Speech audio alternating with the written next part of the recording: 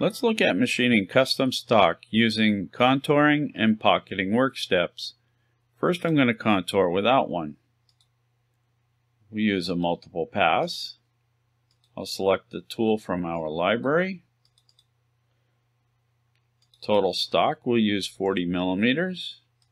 Cut step of 2. And let's add a lead in and lead out.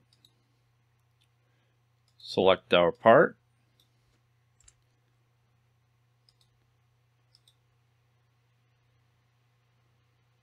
You can see we're offset 40 millimeters around the part boundary.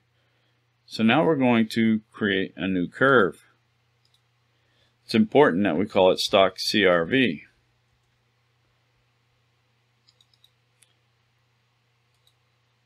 Select our path. Verify again. You can see we're now clipping the corners, not cutting air.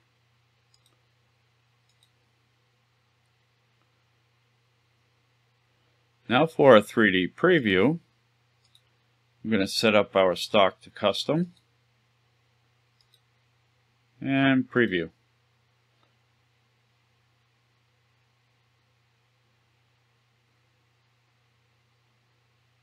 That is a more efficient way of machining.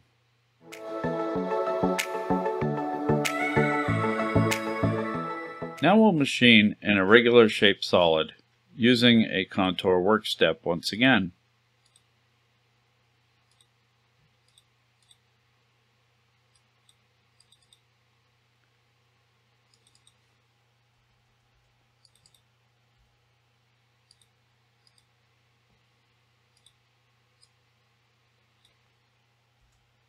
Now this time, we're going to use a check surface representing our stock.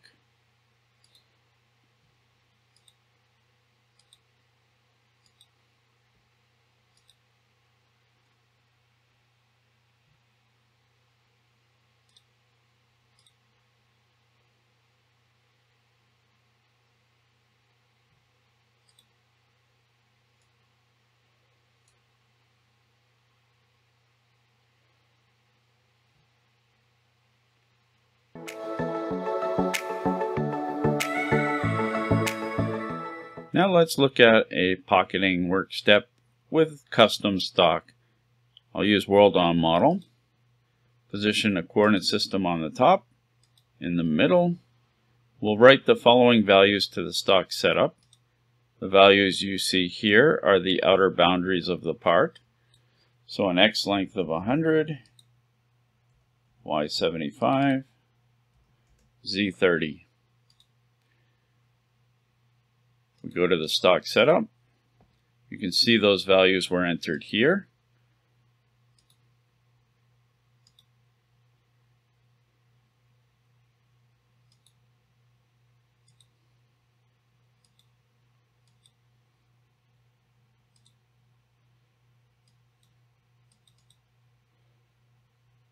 Change our step over to 20%.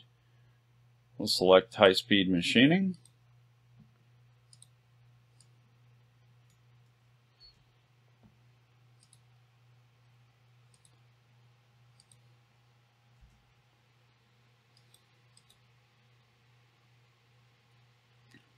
You can see our toolpath is contained inside the stock. So we go to the pocket work step and advanced, change to face milling.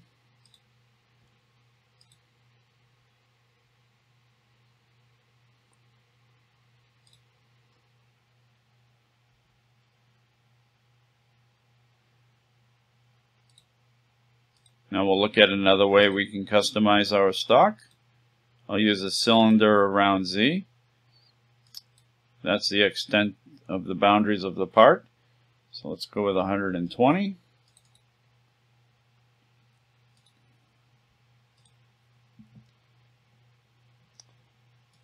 Activate the cylinder as our stock.